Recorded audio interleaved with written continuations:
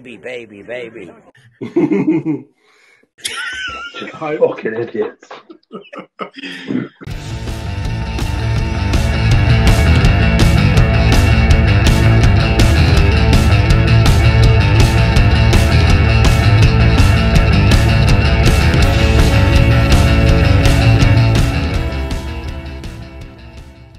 Good evening. Welcome back to the Cheltenham Exchange. We're back.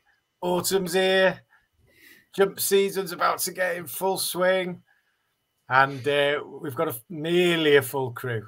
Nearly a full crew. We got the boss man Ian. We got Alex. We got Johnny. Unfortunately, no Matty tonight. Um, he'll be in and out now and then, I'm sure. Too when time permits. so um, yeah, welcome back, evening, gents. How we all doing? Have you all had a, a nice summer? Yeah, well, hibernated OJ during, um, during the flat season, so yeah, we're ready to go.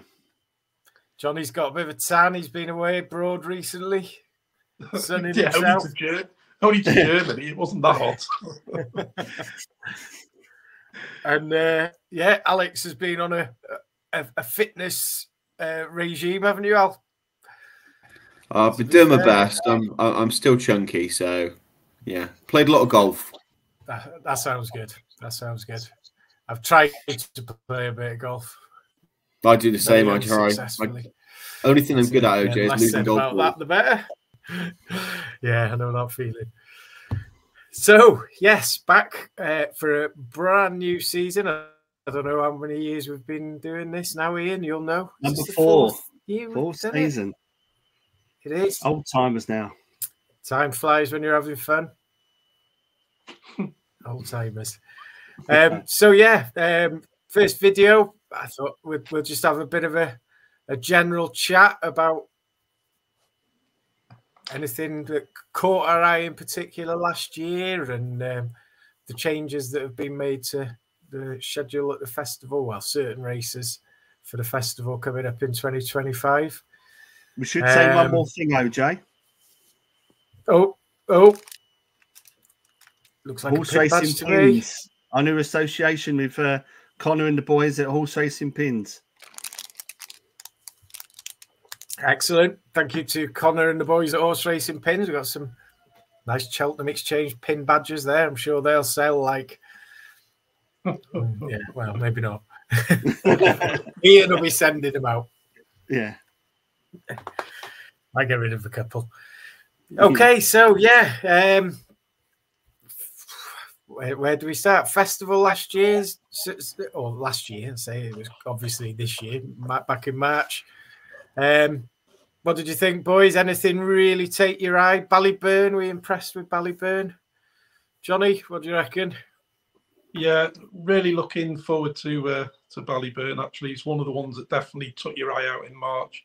Um, had it well covered for the turners, but yeah, we'll talk about that later. Um, it's obviously only probably a couple of options now rather than the three, which probably better in the long run, isn't it, for us? But uh, yeah, um, definitely looking forward to Ballyburn. Also, just to see how Constitution Hill comes back as well after missing this year's festival. Uh, just to see if he's uh, still in good shape and still the horse that he was. So yeah, those two definitely, and obviously also looking forward to Galopin Des Champs to see if he can make it three in a row. So Hat-trick. probably Hat-trick. three of the three of the obvious ones, but three of the ones I'm most looking forward to seeing again. Thoughts on the um, the old wind up for Constitution Hill? What do you th- make of that? I don't know, Mr. Vacher be happy with that, won't he? Yeah. I don't know if it's made. I don't know if I should be concerned or not. Obviously, with the colic and the the wind up, but part of me is a bit worried. But part of me should think he's he should be okay. I think, and if he's even back to 80 90 percent, it'd still be uh, too good for some of these. But yeah, it's just that niggle. I think it worries me a little bit. Just a niggle. What took your eye out last uh, last season? Oh. Then it doesn't have to be Oh. festival.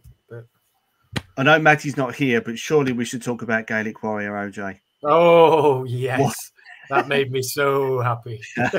Me I think I think that was his best performance ever. I would say. I think he was he was just brilliant in the in the Arkle. But um, I think he shocked everybody. He certainly shocked me. And obviously, with the, the one time I thought he was going to go hurdling and then three mile chasing in the Browns, and he ends up, he was well beaten by um, Fact To File with the DRF and then come back to to do that in the Arkle. But yeah, that was, I thought he was outstanding in that race.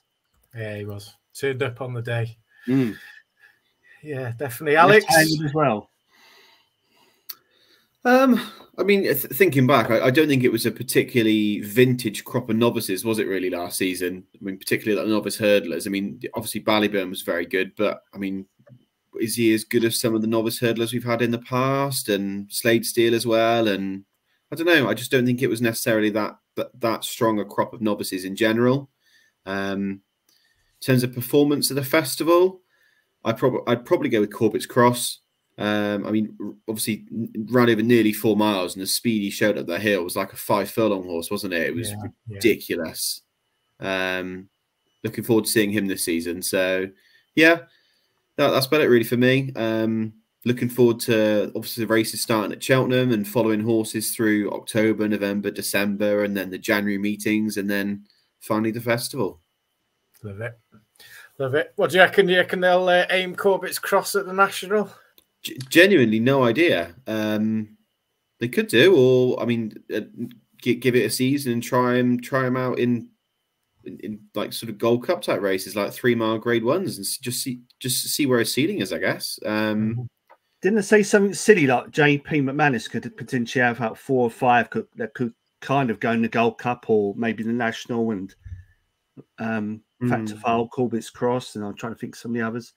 I know the way you think it was one, wasn't it? I think. And they were all all three of those were very Yeah, very and that's impressive, just weren't great. they? So I'm sure He I'm went on a a bit of a uh, spending spree pre-festival, didn't he, Mister McManus?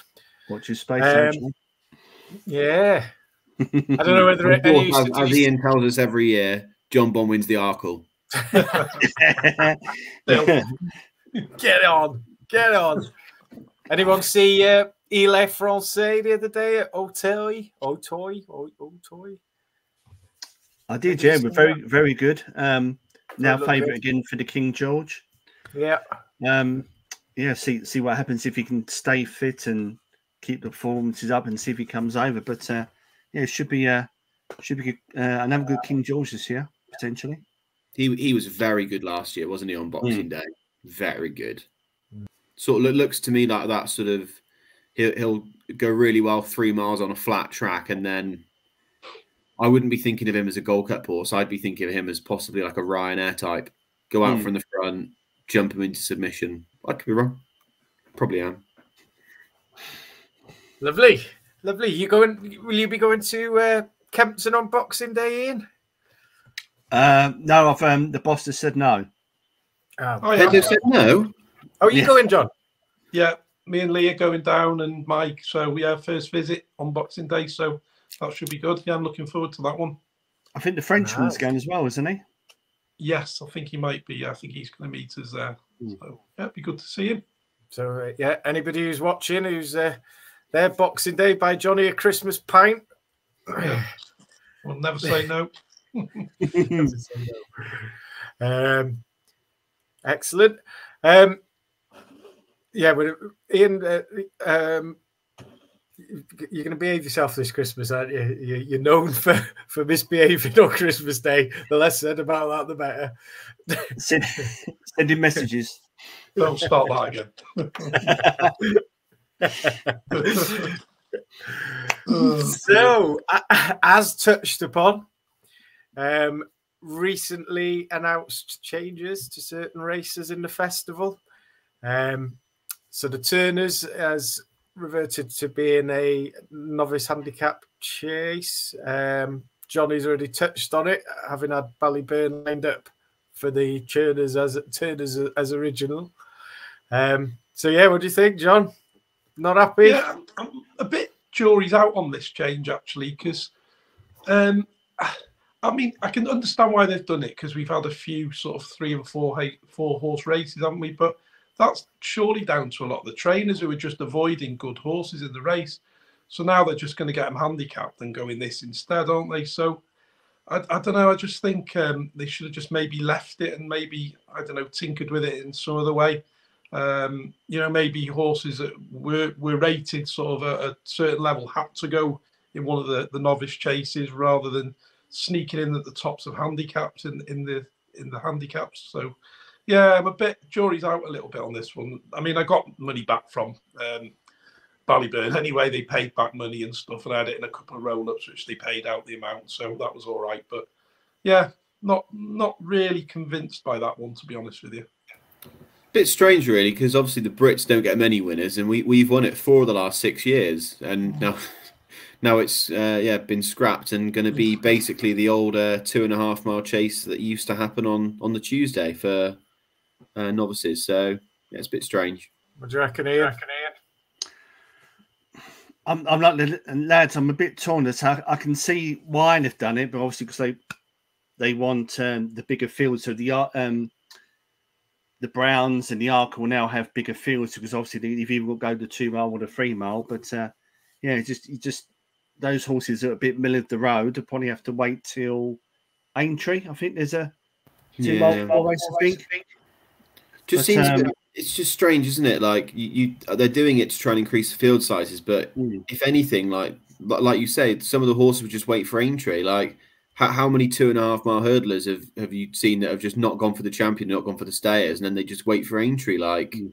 so what? What I don't I don't really yeah that for that part I don't really get it, but we're saying about Ballyburn. Why why would he drop down to two mile to the Arkle? That's what I think he's the bookie's favourite in a minute, but um I think he'll go to the Browns, but hmm, that's so that's the dilemma for a lot of those horses like that. Where do they take the chance to step up, or do they maybe get caught short and go uh, short at, at two mile? I mean, it's one that will help us anti-post wise, I guess, won't mm. it, with the, the, actual graded horses? Uh, maybe take a year to sort itself out, but yeah, I'm not. I'm just not convinced yet. But we'll see, won't we, this season and see what happens. Cool. cool. One change that Alex will be very happy about is the cross country reverting to handicap. That's something you've mentioned several times, Mr. Galpin. So it, happy about it, that. It just makes sense because it, it will get all those horses that should be running in the graded races actually running in them.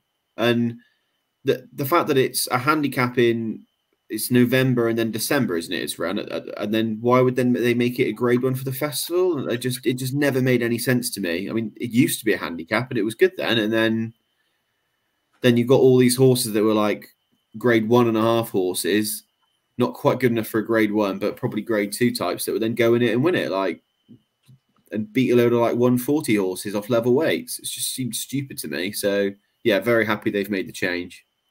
They seem sense that was Michael O'Leary's argument, wasn't it? I think he said that when it was previously a handicap, um, a handicap, they didn't really get the the spotlight as much, and that's why they had the like the Delta Works and the Galvins of the world come into this, and, and Tiger Roll as well. But now, once they've changed it back, it might lose that prestige. But uh, I don't know. I, I think it was a good idea to um, to he, change he it because it was just basically free money for him.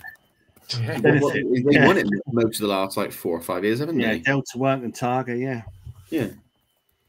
Yeah, let's just hope the, the weather permits us a race this oh. coming year.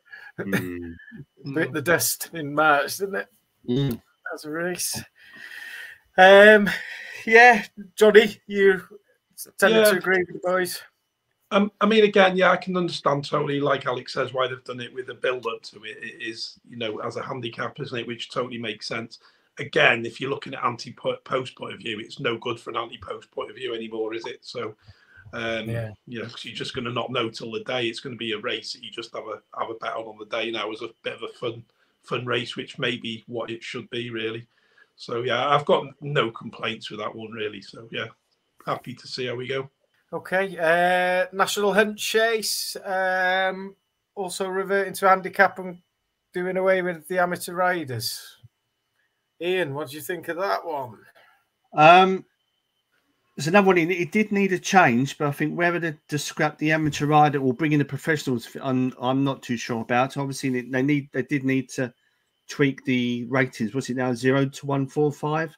They did need to do that again. They was getting smaller and smaller fields, like like the Turners we just spoke about. But uh, I'm not sure it's such a good idea to bring the professionals in. Um, again, it's, you got the prestige of the races. Normally was was an amateur race. I think the only other time they had professionals was um, was it during COVID? I think. But um, yeah, I think the change was good, but I think they should have left it as amateurs personally. It's a shame for those amateur riders, isn't it? You know, They've got is it the Kim Muir now and the Fox Hunters? I think they're the only two. I think. And the well, the pipe's condition, isn't it? Condition. Oh, yeah, jockeys, okay, so you get in the bumper, but any other strong views on that one? Yeah, I I think this one's totally wrong. I mean, like Ian said, maybe tinker about with the rating, but to to take off the amateurs and then to make it another handicap, we're we're just going to be in danger here of being like that Punchestown Festival at the end of the season, where there's 500 handicaps and 20 bumpers and 17 cross country. You know, where does it stop? Like, you know, you've got to have some. Jamie will be fuming. great twos, haven't I, you? two mares I just bumpers. say Jamie Red will be fuming now. He will, but it's true, isn't it? That meeting's just a joke for me. But there you go with it. Um, yeah, I, I think that one's all wrong. To be honest, I think they've gone too far on that one. Definitely, that's probably the worst of the changes for me. Okay. Um, Patemps winners of qualifying races guaranteed a starting spot. Happy with that one, boys? Big thumbs up from Alex. Yeah, that's that's a no-brainer. That one. Yeah, no problem with that Yeah. at all. Because then, then they'll, they'll actually have horses that are trying in the in the qualifiers. Yeah, that's Just what I 'cause was just going to definitely get say. in. Yeah. Yeah. yeah, It'd be a, an interest, some interesting game management, won't there? Hmm. I Yeah. wonder if there'll be. Um, I wonder if there'll be a lot more emphasis on the earlier qualifiers. Uh, not emphasis, but a lot. It might be, yeah. Get one qualified early and then run it a couple of times after it. Get the handicap mark back down. Well, Yeah, yeah, exactly. they'll, they'll do that instead, won't we? Obviously. The only thing I can see in brackets is that if they if they've they've got a guaranteed run if they win, then any brackets it's got provided they're within the weights at declaration stage. So, but I think you'd have to be like a featherweight to not not get in. But I think it shouldn't really affect anything. But Yeah, yeah. Win one and then do a bit of Langadan playing around and uh, Oh, happy we That makes sense because, like, play around. if a horse that's like maybe like a pound lower than something that was sixth doesn't get in the race, but the horse that horse had won the qualifier, why wasn't that one in? Like, yeah, it, Hmm. it makes total sense to me. Excellent. Uh, what else have we got? The price of a pint of Guinness has gone up from seven pound fifty to seven eighty. I read. Don't agree with that one whatsoever. London prices, OJ. Jesus. London prices getting us bad around here. Um, qualifying runs for the number runs handicap. as. Sorry, mate. They increase the number of runs for what you need to get into a handicap for Yeah. Yeah, Yeah, so, uh, five, and then chases is four from three, I think it was. Yeah. Yeah, that's all right. happy with that. Yeah yeah I think you'll just see a few more pipe openers, OJ. I think you'll see a couple of runs, little trips out for the day, just to get a little mark, just to, to get their run, so to speak, and then go from there. But I think that's the only. Yeah. Again, we, we talked to, before we started with Johnny said about the ground, and if it if some of the re- meetings are abandoned, then it, it's going to affect horses trying to get their their quota, so to speak. You, Do you think you we might see- start seeing horses run at the end of, like, say, for example, at the end of this season, we might get horses that are like do like a couple of runs as novices in like April, May time, Yeah, just to get a couple of what runs just into gonna that, and then the Yeah. following season they'll then start and run October, December, and then February or something, and then qualify. Yeah, you might, you might see some of the better horses out during the summer. Um, Yeah, like, Summer. Because I mean, half the time the weather's like just like it is in November anyway, isn't it? Mm. So you might as well just run them when it's pissing it down at flipping Wetherby on a flipping Wednesday or something like that. Wet Wednesday in Wetherby. Wed- Wednesday at Wetherby. yeah. Uh, done away with the penalties in the mares' novice. Yeah, another good Yeah. idea. No brainer that one again. Um, You shouldn't get punished, should you, for winning no. for winning a race, should you? I mean they don't in the other races, do they? So why should you in that? And that's what that's what stopped the what was the Fergal mare, Alex? Dysart Enos. Yes, and that's well, because of that penalty, or that's and that's why she didn't run. I, I think was that the case. No, Nothing to do with the penalty. She had a, an overreach. Oh, beg your pardon. Okay. because of the penalty. Yeah. Yeah, yeah, because of the penalty. Yeah, yeah, Yeah. there's nothing to the Yeah, yeah, yeah couldn't overreach. Yeah. Okay. Anything else? Ian's happy about the car park. Oh yeah. Very much so. It was a disaster at, at the festival, and um, funny enough, we did get a free ticket because of the uh, the parking for the October meeting. But um, yeah, so, it's, so I think it's finally going to. Um, I don't know what they're doing. I think they're going to put um, like a trackway. I think um, with, with some of the areas with the parking. But uh, yeah, See, if you would have Well met us in the plough, if you'd have met us in the plough, that wouldn't have happened, would it, Alex? Yeah, exactly. Do you know what I mean? Plug for the plough there. but they are putting buses on OJ. I think they've um, they're going to put From the plough. from the yeah from the power to the race course. I think they're putting for the punters. I think they've I forget what it is. I think they're going to have um, more buses and coaches that transcend the people to to and from the race course. And that's uh, potentially another good idea. Lovely. And you can take your beer in the Tattersalls now outside. In a plastic glass. Yeah, so you'd be able to chuck your beer everywhere, and everyone would. would No. OJ, to save more money, you're going to drink it from your hands this year, so you don't, you have to pay for the price with cup as well. Just so they can make a little bit more on it. Guinness hands, They'll start charging us for cups next. Yeah, they probably will, paper cup. bastards. There, there was one one uh, season when they started, and they actually wouldn't give you those normal like plastic cups. Instead, you had to buy like a cup for a pound, Yeah. and at the Oh, end, like of the, the the end of the day, you could thing. trade it back in for a pound. they do some funny things. Ridiculous. It's, uh, And most people is- couldn't be bothered, so they threw them. Yeah, most they, people to you couldn't be the pound bothered, so they slung them or they took them home. Then the next meeting, they scrapped it because they didn't have enough cups anymore. So uh, it is still ridiculously expensive, unfortunately. It's, uh, that's not going to change. can't see that being addressed at any time soon. So yeah, um, obviously the season is already underway. Chepstow this weekend. Um, I don't think we've uh, we've really had time to have have a look ahead of that, have we? But um, Not yeah, no. and anything else you uh, you're particularly looking forward to during the season, fellas? Well, we're all going on a trip, aren't we, next year? Yeah, Yeah. Yes. For Yeah, someone's right. birthday. Even Matty's coming. Yeah. love that. Yes, yeah, looking forward to that. Looking Yeah. forward to that, indeed. That'll be good. You'll love it. Yeah. We- We're off to the DRF. So Just in case. you're not going Marbella or anything like that. I was like, is someone going to stay with his in a minute? Or yeah, we're all going to the DRF. So yeah, it should be good fun. We'll be able to wind up Ginger Joe, Oh, yeah. Yeah. Jamie Spud. Jamie the Spud. Excellent. Well, um, yeah, I don't. Uh, um, are you happy, Ian? Do you think uh, we've had a nice little chat, a little, nice Yeah. little recap, and a little look forward? Just forward? to get get the ring rust out the way and get to the swing of it, and then they, uh, ease us, ease us Yeah. into the new season. So um, yeah, we'll be following up, folks, with um, the boys. Uh, we're going to record them again tonight. We're going to do a couple of uh, short videos with um, the boys. Are going to put up a couple of handicappers to follow each for the season. I think, or handicappers that they, they think, or horses that they think may be worth keeping an eye on in handicaps for the season, and then a couple of potentially graded horses each, just for the for the season as a whole. Nothing Yeah. uh, particularly Cheltenham related. So uh, we'll be continuing recording them, and they'll be going out very soon as well.